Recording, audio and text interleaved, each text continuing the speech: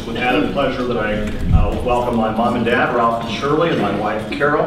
Uh, They are both, all three here today. Without the support of my family and so many wonderful friends in this room, uh, I could not enjoy the success. And you all motivate me every day to have the half glass full mentality that I bring to City Hall each and every day.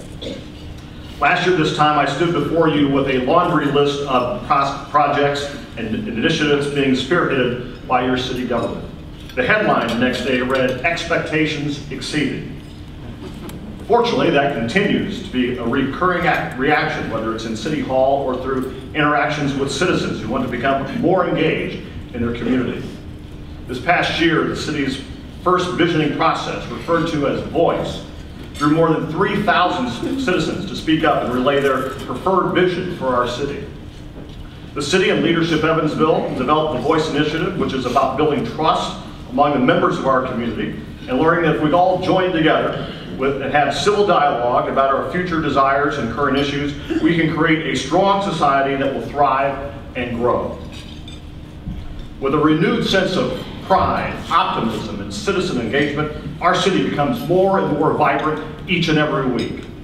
From the 42 organized voice sessions and online input, we know that our citizens, desire uh, healthy green spaces, enhanced experiences for a fun city, and a revitalized urban core. We know that regardless of their residency, an overwhelming number of our citizens understand the need for strengthening our urban core, which is why more and more people are living downtown, investing in everything from historic homes in our preservation area to modern new condominiums on Main Street. As a direct result, of voice, residents are not only suggesting major capital projects as part of their vision, but also coming up with easy and fun items such as planting 1,200 uh, tulip bulbs near the Greenway, hosting pop-up restaurants and mob cash bars. Yes, those are good. good things. Fun things. Our downtown is blessed to have many attractions that are first class. Historic Victory Theater is home to our wonderful Philharmonic Orchestra. We have touring Broadway productions. We have an energetic farmer's market, art shows, sculptural exhibits. We have a fabulously renovated Museum of Arts, History, and Science that complements our world-class Children's Museum, the Evansville African American Museum, and the Reitz Home Museum. We have a professional hockey team. In fact, some might think we've turned into a hockey town. Many of us, including me, have learned what a hat trick is and what an enforcer really means. Actually, I could use an enforcer from time to time. we have both Division One and Division Two basketball with story uh, programs from the University of Evansville and the University of Southern Indiana. And it only made sense that the Great Lakes Valley Conference basketball tournament, men's and women's tournament, was here again this last weekend, and a special congratulations to the USI men's team for bringing home their 12th GLVC title.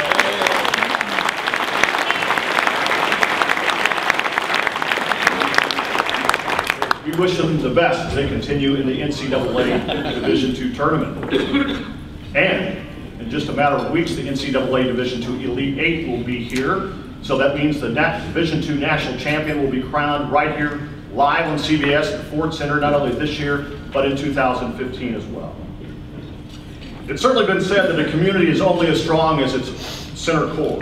But fortunately for Evansville, we also have tremendous momentum on the west side with new energy being promoted from the Franklin Street Events Association. New events such as the Mardi Gras in Franklin, in addition to the famous uh, Fall Festival hosted by the West Side Nut Club, are citizen-driven events that continue to grow. The Jacobsville Area Community Corporation is another organization that deserves recognition for their redevelopment efforts for being undertaken there and the ownership that they've taken of the annual Christmas on North Main Street uh, parade, which is another great success. You know, sometimes communities need to reflect on their blessings and their assets. Maybe like many cities, we tend to overlook the positive, which is why everything I mentioned here so far is so important. Over the past few years, we've, uh, you've heard me use phrases like poised for the future, and now is the time. Well, my favorite phrase is positive progress, which I hope you would agree adequately defines our ongoing collaborative efforts to move our city forward. Ladies and gentlemen, thanks to our united efforts, the state of our city is truly invigorating and creating a new excitement for the city of Evansville.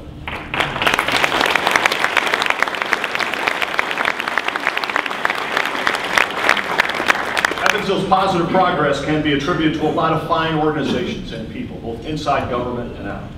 As we provide the annual status report of our city government, it only makes sense to recognize those who are committed to public service. Many of our city department heads are here today, and you should know that these are extraordinarily dedicated men and women who work every day to make Evansville better. Would you all please stand and be recognized?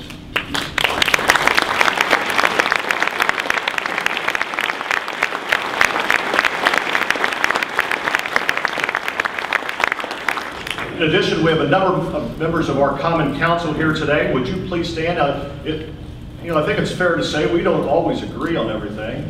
I know there are more of you than just those three. Please stand.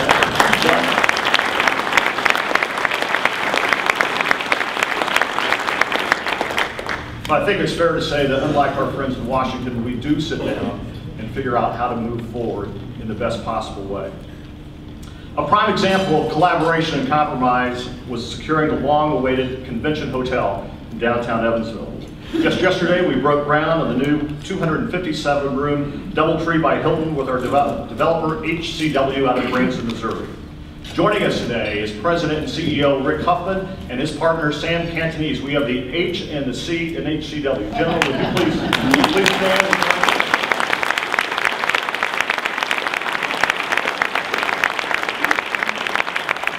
It's already been said many times that at other, other public events, but it's worth repeating and underscores the, um, the collaboration that goes on in our city. The combined support of the business community and the labor community was instrumental in making this project happen. And I could not be more pleased for that collaboration.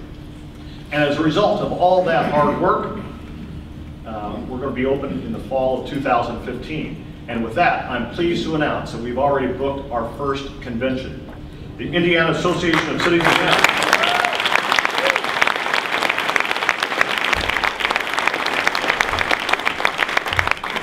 Indiana Association of Cities and Towns will host its annual convention in the new hotel shortly after it opens. Last time the statewide convention was here was in 2007, and the leadership of that organization is delighted to come back to Evansville. Now, as construction begins, it's now the task of Bob Warren and his capable staff, the convention and Visitors Bureau, to recruit business back to Evansville. And blah, Bob, uh, I want you to know that our community is behind you, and uh, Bob and his team will soon be breaking ground on their own attraction, the new ball field complex off of North Green River Road, which is yet another attractive selling point for our city. Now, if I gave Bob the mic, and don't worry, I won't because we've been here until three, uh, I know he would encourage all of us to get involved in the communities that we're involved with and to get them to sell Evansville to them. That's our best selling point. As our visitors come to Evansville, the award-winning Doubletree Hotel service will be awaiting for them, along with a special treat, the Doubletree Signature Chocolate Chip Cookie, which if you haven't noticed is already at your place that's what our visitors will enjoy when they come to town. You can wait till I'm done, that's okay. As you know, a new convention hotel has been a primary focus of officials for many years, not only to boost the convention business, but to create a much-needed economic development tool. This project will create hundreds of construction and permanent jobs, in addition to being a catalyst for growth. Two weeks ago, I had the pleasure of joining the leadership of the Economic Development Coalition at a national site selector conference to meet the professionals that work with corporations seeking to relocate or start their business operations. Let's just let me tell you this, the business of economic development is cutthroat and very competitive. Not only do corporations want the best deal, but they also want to locate in cities that have a robust quality of life. A few weeks ago, the news of, our, of the latest unemployment numbers for our city and our region reinforced our region's efforts, the lowest unemployment rate in the past five years.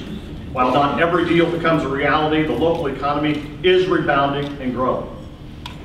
And while our jobs team responds to requests and proactively seeks new potential deals, the successes of 2013 were the retention and expansion of major employers such as Uniseal, SS&C, and Berry Plastics. We spent a fair amount of time in 2012 and 2013 working with our friends at Berry on separate expansion projects. As a result of that collaboration over the last two years, they've created 395 new jobs here in Evansville. Berry has become a tremendous driver of our local economy and to the many suppliers throughout this region. Special thanks to Jonathan Rich and his leadership team for continuing to grow and invest in Evansville. Business startups have also been a positive niche for the Growth Alliance, utilizing the incubator space at Innovation Point and the Vanderburgh Industrial Park. Involve Engineering, Inflow, Exergy Resources, Curvo are just a few of the new companies that are receiving assistance there. And frankly, the innovation and creativity of our homegrown business is inspiring and should be embraced by our entire community. A key component to our ensuring our local economy grows is building a strong transportation infrastructure, whether it's for pedestrian, bike, or vehicle traffic. Significant investments have been made to, uh, in repairing sidewalks, improving intersections, and paving streets. The Oak Hill Road reconstruction project will be complete this July.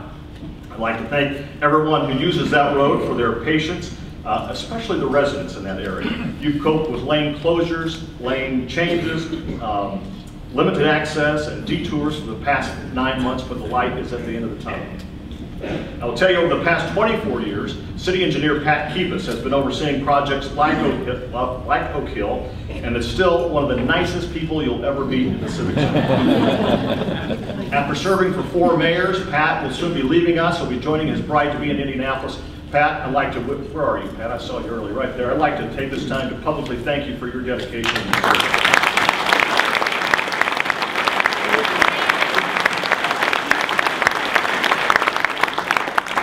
Not to mention his insights and creativity were invaluable on a certain high-profile interchange projects that, project that's in the center of our community. It's quite obvious that substantial change is occurring at the interchange of US 41 and the Lloyd Expressway.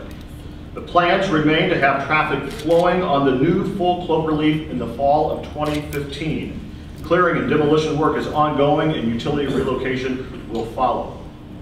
Now, to avoid long traffic delays and disruption in the service, the Indiana Department of Transportation has developed a shorter construction time timetable with practical design elements added that will produce long-term savings for this project. Those savings will benefit both the state of Indiana and the city of Evansville.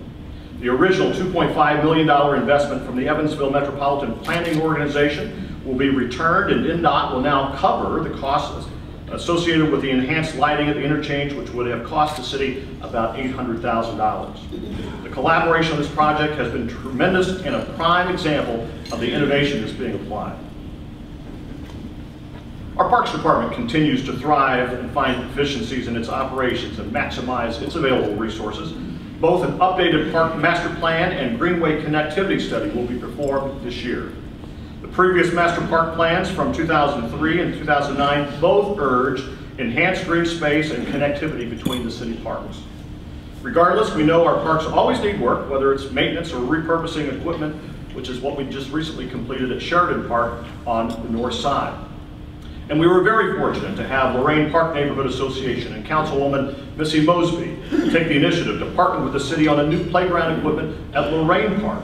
That equipment at Lorain in the park at 6th and Castleberry on the west side were installed last month and believe it or not have already received a lot of attention from kids in those areas. The last park master plan from 2009 recommended that a reuse redevelopment plan for Roberts needed to be developed and that alternative uses, uses need to focus on expansion of park and recreation opportunities. Through an extensive public engagement process, we heard the community loud and clear the former site of Roberts Stadium should be green space. The proposed Roberts Park is a project that was based on the recommendation and desires of the citizens that participated in those meetings and submitted feedback online to our office. The citizen input has improved the conceptual plan, and as I've continually said, the land represents a unique opportunity to create wonderful green space in the heart of our city. Last year, early estimates on enhancements to the park where the former Roberts Stadium stood ranged from six to eight million dollars. Thanks to our friends at the Welborn Foundation, our team is still working on the plan with the goal of meeting that range. However, the final product will be further based on public input and private investment. During the public review process, hundreds of comments and questions were submitted. The support for a new dog park was obvious, however, the exact location was questioned even by supporters. So we went to work with the state of Indiana. We believe the recommendation of utilizing a portion of the land next to the state hospital ground uh, or state hospital, already informally used for that purpose, would be ideal. And thanks to our local legislative delegation for supporting language and legislation to uh, be approved by the General Assembly that week, this week, we think the transfer of that land will happen soon. The connectivity between the state hospital grounds and Roberts Park via the planned pedestrian crosswalk will create a tremendous synergy. Whether you take the crosswalk or driving past the future Roberts Park, a visible feature will certainly make a huge statement. And speaking of huge statements, we're about to make one right now. This is a great opportunity to announce that the Rotary Club of Evansville will commit $100,000 to be the sponsor of the Rotary Centennial Wetland at Roberts Park to provide both an aesthetic and educational component of the park that will be inviting and usable by all ages. I am most appreciative.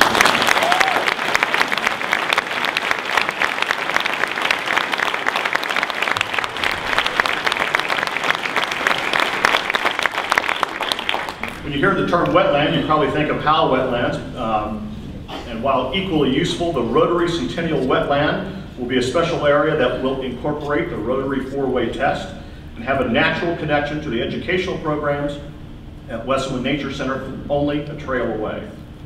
On behalf of the City of Evansville, I'd like to extend a special thank you to Jeffrey and the leadership team here and all who contributed to the Centennial fundraising efforts. It is our intent that the Rotary Centennial Wetland will be one of the first projects constructed in truly a public-private partnership in this new park.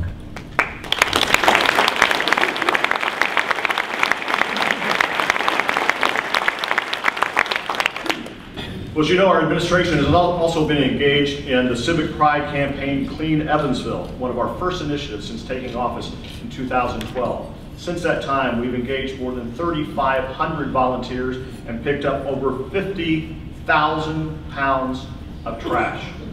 Yes, 50,000 pounds of trash. Clean Evansville's success recently earned the city the 2013 Indiana Association of Cities and Towns Community Achievement Award. This program would not be possible without the support of Keep Evansville Beautiful, Republic Services, Rural King, and volunteers from several businesses that participate in a cleanup on a monthly basis, including we have, we have folks from uh, Vectren, Accuride, Fifth Third Bank, Old National Bank, and countless scout groups and church groups month in and month out. Thank you very much for making our city look and feel better.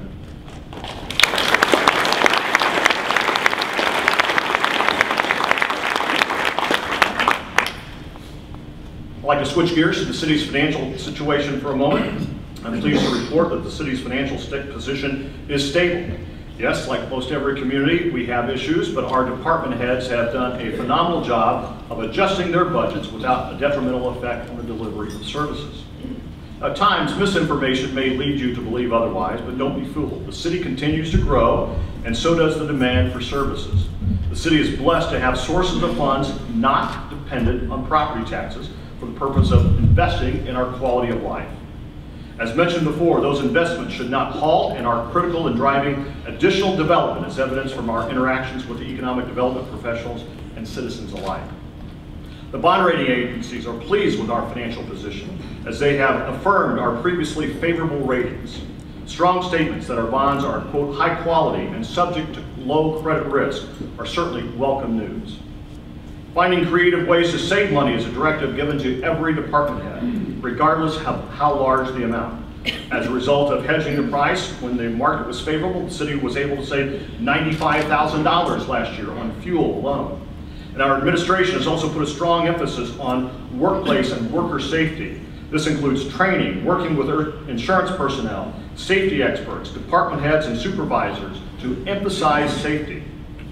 The results are impressive. Since taking office, our workers' compensation claims have decreased 32%, which translates to a decrease of over $300,000.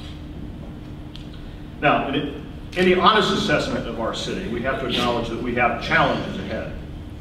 And it shouldn't be breaking news to anyone here today that at the top of our list of challenges is our water and sewer utility department. I'd like to recognize the gentleman who leads that effort, Alan Mounts, right over here.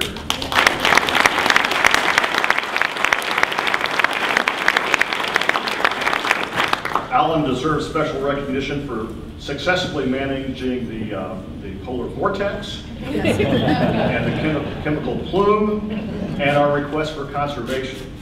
And he's probably been the only person in city government or local government that surpass me for more FaceTime on TV this winter. I'll do something about that. Seriously, Al and his team have done a have done a fabulous job. They've worked long, long hours in horrendous weather to oversee and repair a record number of water main breaks, manage the upriver chemical spill, and as I said, the conservation request. In in addition, we continue to have dialogue with the EPA regarding our integrated long-term control plan. Our 28-year, $540 million plan was submitted for the federal government's consideration last May. It should be noted that our plan is about $300 million less than what we would have needed to achieve the EPA's original desired level of control. And we intend to push back on any effort to further unduly burden our ratepayers. Evansville is one of more than 700 cities across the country mandated to make these upgrades. As the EPA reviews our plans, we certainly await their decision. Now, the water and sewer utility is not the only department that has aging equipment. Jay Perry and his team at the Levee Authority also replaced flap gates on our three major pump stations downtown. These flap gates were part of the original infrastructure installed in the 1940s. The new gates will keep water from backflowing into the city when the river reaches high levels. It's no surprise the common theme of the challenges here today we face relate to infrastructure needs. We need, now that the snow and ice has all disappeared, and it has all disappeared, we, we certainly hope, uh, a new foe has arrived. The foe is the pothole. You might find this hard to believe, but since January, more than 1,100 potholes have already been filled. But the fluctuating weather patterns have certainly been a challenge to the city garage team, and that, to tell you, they do a wonderful job. While our related infrastructure issues create the largest challenges from a monetary standpoint, you should be reassured that the aforementioned challenges all have plans to address them. Over the last two years, our administration has worked diligently to meet the needs of keeping the LST here in Evansville. Whether it was providing new storage space for the ship's landing vehicles, painting the dock, or increasing marketing efforts to bring visitors to the ship, the city is committed to keeping the historical vessel here in its birthplace. In April, the city will take, make a comprehensive presentation to the LST Board of Directors with the goal of extending the lease to the city of Evansville. Now, I have to admit, I'm a big fan of Mesker Park Zoo. I'm a, kind of a zoo guy. Amos Morris is sitting right up front. He and his team do a fantastic job. It's a big draw for the city. Last year, more than 200,000 people came through the doors. And believe it or not, Amazonia has already had its 1 millionth visitor. Kudos to former mayors Russ Lloyd Jr. and Jonathan Weinzapfel, as well as former zoo director and current city council member Dan McGinn for the vision and commitment to this wonderful attraction. And if you haven't been to the zoo lately, here's what you're missing. Improvements to the 60-year-old Kley building, that includes the Komodo Cove. We have three Komodo dragons, and we've welcomed an African crested porcupine, the red panda on the renovated Discovery Trail, two Mexican gray wolf pups, and a new colobus monkey. But we cannot rest on our laurels. We have some exciting and big ideas that we are working on to make the zoo even more exciting. And we'll leave that as a teaser for the time being. Each week, our city is becoming more and more diverse. And with that comes an obligation to be more accepting, more understanding, and more inclusive. The open dialogue with the leadership of concerned clergy and the NAACP has been greatly appreciated and constructive in our new in our march toward uh, moving our community forward. As mayor, I must take seriously any feelings, real or perceived, regarding discrimination or bias. This is especially important of instances involving city employees who have frequent encounters with our citizens. To that end, beginning this year, all city employees, including the mayor, will undergo annual online training that introduces basic diversity concepts. This is one prong of a comprehensive approach to ensure city employees have the competencies they need to serve a diverse community. I'm also pleased to announce that the Evansville Police Department will soon roll out a new interactive community engagement program called Life on the Beat. This program, which includes a good deal of role playing, is designed to show our citizens why officers make the decisions they make. And no doubt, it will give our officers insight into why our citizens may question some of those decisions. Life on the Beat will soon be rolling out to neighborhood associations, church groups, or civic clubs that are interested in learning more about the Evansville Police Department. And speaking of the police department, you should all know, if you haven't heard, our uniform officers now each have high definition body cameras. These cameras are yet another tool available to assist law enforcement and should provide irrefutable evidence in our ongoing effort to protect our citizens. One of the few disappointments I've had in office so far has to do with the continu continuing scourge of meth and its impact on users, their families, especially kids in our community. While meth remains a problem, the city is the only municipality in the state that has a law enforcement department with a dedicated meth suppression unit. That means the city of Evansville simply doesn't react to the meth epidemic anymore. We take a proactive approach to the problem. I truly believe that meth will continue to be a problem, not just here, but around our region, until the legislature approves making pseudoephedrine a controlled substance. Now, it's not often that an elected official recognizes the media for reporting on an issue that government is struggling to solve. If you've not read the ongoing series by the Evansville Courier and Press about blighted housing, I would encourage you to do so. It certainly highlights an issue that speaks to the look and feel of our historic city. While blight and abandoned homes are not a new problem, the challenge is ongoing and key towards our revitalization efforts. First, I think it's important to understand the problem. Last year, our building commissioner, building commission has been on the forefront. They managed over 1,000 separate property maintenance violation matters and responded to citizen concerns that turned out over 3,800 inspections on blighted property. They issued over 500 administrative orders on the sealing, repair, or razing of blighted buildings. They removed over 150 blighted homes by demolition and secured another 155. And soon will be seeking money from the state's hardest hit fund used on the acquisition and demolition of abandoned residential structures. We responded to citizen concerns of high weed. We had high weeds with over 8,000 inspections. And in the coming weeks, our administration will be proposing updates to the weed ordinance to strengthen the enforcement. The rental registry programs have helped identify more than 7,400 parcels of land that have rental units and the contact information for more than 2,800 different owners, saving city resources and tracking down those owners.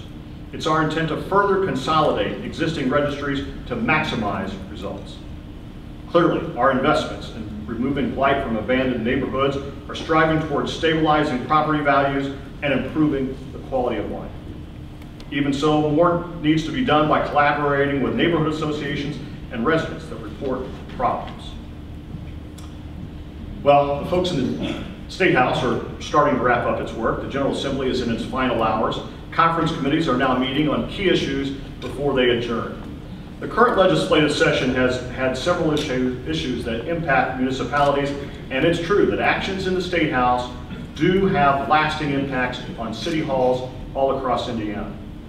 In 2013 alone, circuit breaker caps lowered property tax payments to the city by $9.4 million, a 100% increase over 2012. In response to our reduced revenue from caps, the responsibility of governing within our means rests on our shoulders, and that's exactly what is happening in our city hall.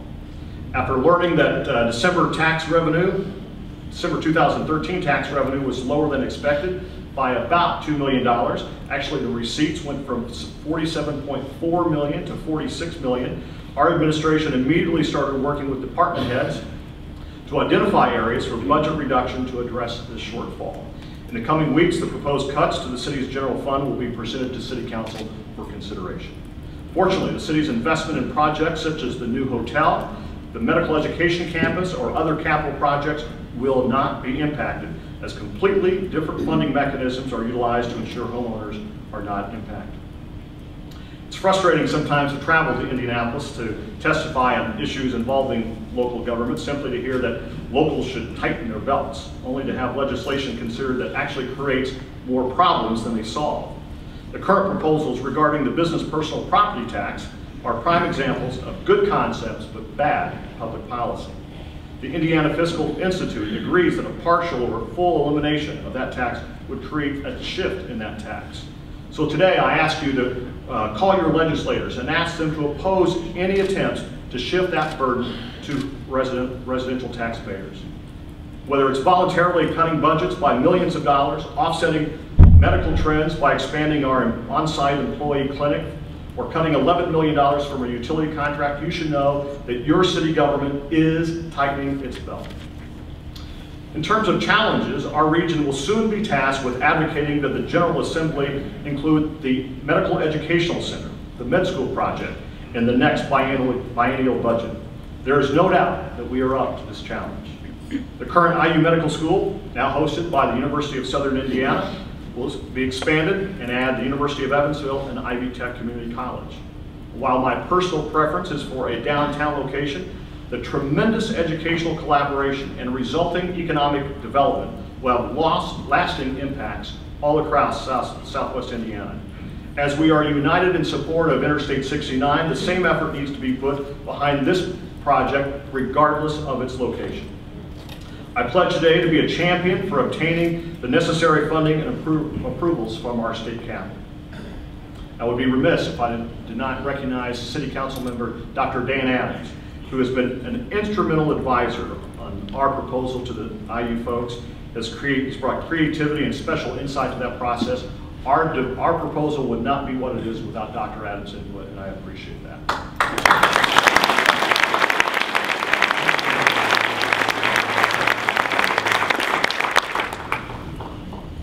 you should know that there is positive progress going on all over the city.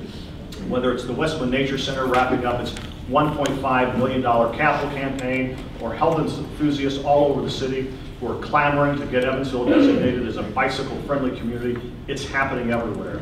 We're blessed to have a really great not-for-profit network, and we're even more blessed to have a volunteer network that goes above and beyond on a daily and weekly basis.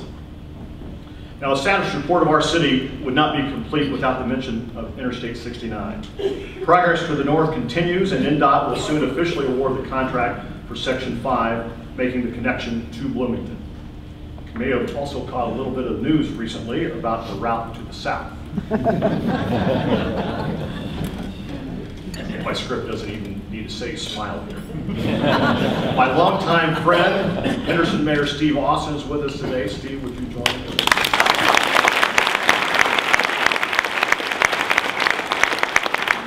Brad Schneider, who leads us in our Bridge Link effort. Brad, I saw you earlier. Brad back in the back. Brad, truly a bi-state collaborative effort to get a built bridge built here, not anywhere else. Let's put this in perspective for just a minute. The existing bridge structures carrying US 41 traffic are nearing the end of their life. The northbound bridge was built in 1932, the southbound bridge in 1966. My friends, this is not about two mayors butting heads with another mayor. This is about completing a project that two states and a federal government have already and rightfully committed to build on a specific site. This is not about grabbing headlines. This is about the completion of a significant highway of national importance. It's no,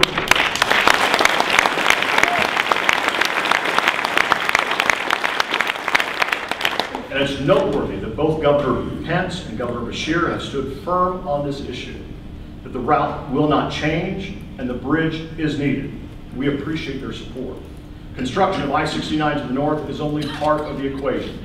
The bridge linking Evansville and Henderson must be constructed. Evansville can't be the cul-de-sac on the interstate system. Likewise, Henderson, Madisonville, and Hopkinsville and other communities who've been trying to get connected to the interstate system should not be scratched at this time.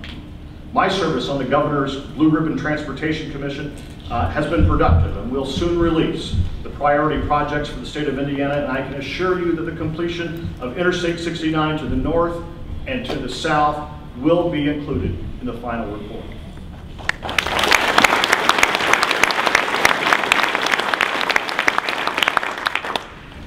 As we leave here today, I'd like to share with you inscription on a plaque that I ran across recently. I, we were having a traveling city hall at Bosse High School. Man, made it 40 minutes without coughing, sorry. Um, this is really, this plaque really inspired some, some thoughts for me. I would like to read it to you. reads Benjamin Bosse, man of the people, whose life was spent and given in the service of the city which he helped to build. He labored unselfishly and untiringly in the cause of broader and higher education.